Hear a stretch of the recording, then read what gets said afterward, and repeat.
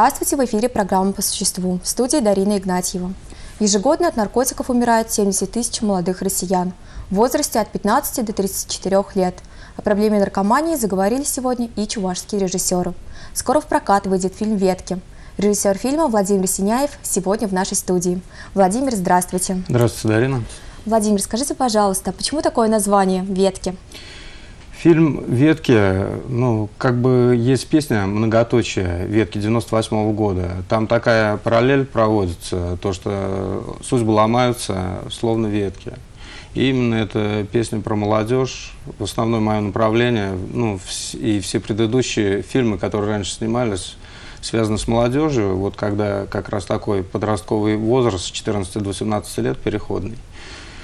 Ну, и как бы выбрали название то, что судьбы именно ломаются, как ветки. Проблема наркомании. Почему вы взялись за такую острую тему?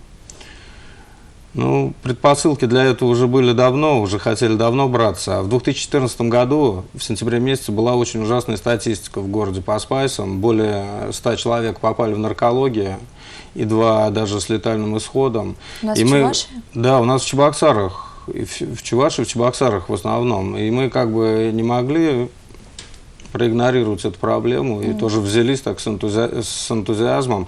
Еще подключился старший помощник главного прокурора Альберт Иванович Петров, в общем, и как-то вот было слажено, налажено.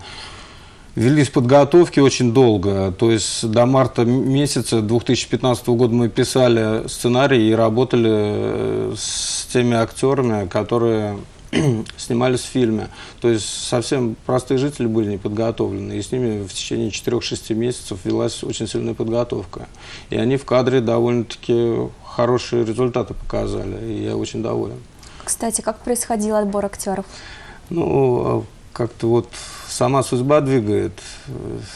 Со студентами я последний год в Чебоксарском механико-технологическом техникуме работал. Пришли ко мне вот эти молодые ребята, Алексей Коротков, Маргарита Гомберг и Михаил Верендеев. Они учили, учатся в одной группе. Ну, Алексей Коротков, он ходил в театр Цесена Юрия Алексеевича, а вот эти ребята занимались у меня. И как бы они очень отыграли на очень высоком уровне. И я очень довольно остался. А вот Игорь Владимирович Ильин, познакомились, когда снимали фильм «Куратор», у них проходил бой, и вот он как бы предложили ему сняться отрицательную роль наркобарона, и он не отказался и на очень высоком уровне тоже сыграл. Ну, старые актеры из старых фильмов, Купцов, Никифор, Никифоров, а как проходил сам процесс съемок? Где вы нашли такие интересные съемочные площадки?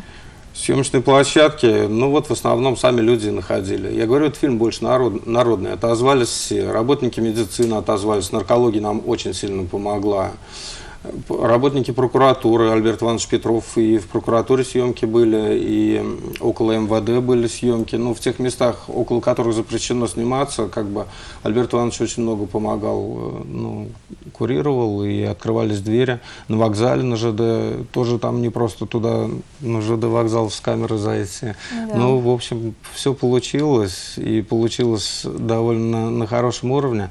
Были съемки на кладбищах, чтобы атмосферу подчеркнуть вот этого всего, вот вы сказали, от 15 до 34 лет в основном умирают. Но мы убрали это. Действительно, атмосфера у фильма была намного жестче, сделали его немного потеплее. Там вот к этой, ко всей линии негативной еще параллельно идет положительная линия. Это там Геннадий Гиков со своей подругой, у него там, ну, он пытается, чтобы сделать благополучную семью, в общем, и как бы потом он узнает про свою сестру Дашу, и его судьба тоже меняется, ну, как бы... Даже простые граждане из-за этих наркотиков страдают, мы хотели вот это тоже подчеркнуть. Хотелось бы, чтобы, посмотрев этот фильм, люди одумались. Потому что, ну, страшнее нет, вот еще раз, эта тема от 15 до 34 лет. Когда дети умирают раньше, чем их родители, это страшная вещь. Я, ну, как бы пересекался с этим вопросом. А вот прототипы героев какие-то были? Ну, прототипы героев, да, были. У меня из молодости сейчас спокойный. Он, ну, как бы жизнь у него под откос пошла 18 лет. Вот лежал э, на кровати и говорит, Володь, все так болит, ну, органы сожженные все были внутри. Скорее бы, говорит, помереть, говорит. Ну, прям вот до мурашек, до слез, честное слово, это как-то в памяти осталось. А был довольно-таки интересный юноша, читал книжки, молодой, очень развитый был, и как-то вот все резко так в 18 лет изменилось и пошло под откос. Страшно, страшные вещи вообще. Либо человек по возвышенности развивается, либо деградация идет. И вот эта вот деградация, э, деградация показана явно. Хотелось бы посмотреть, хотелось бы уберечь. Полезен фильм будет и взрослому поколению, взрослым тоже. Но с этими наркотиками, вот как бы коснулись когда этого вопроса, и начали получать какую-то какую информацию, вы знаете, вот, ну, как бы свои тарелочки вылезли, и у меня сразу столько начало появляться Заезжаю куда-то во двор, стоят трое молодых парня, курят, курят просто. Ну, понимаешь, откуда они спустились, из какого учебного заведения рядом, в общем. Видно, перемена была или что-то. Ну, видно, что они какой-то курят, какое-то дурманящее средство, какие-то синтетические. То есть по очереди, по кругу, по, по, за, по затяжке, да, во дворах даже. Я просто сам в шоке тоже был. А у нас еще русский народный театр в ДК Хузанга имени Победа. И мы как бы ставили патриотическую такую, такую постановку Бориса Васильева «Азори за стихи». И вот к моей трупе, ну, мне потом мои актеры рассказывали, приходил парень и предлагал им тоже вот эти синтетические спайсы, синтетические средства. Ну, мои ребята, они так вот, как бы у нас ни алкоголь, ни курево, этого вообще не касаемся. И они как бы сразу тоже его оценили.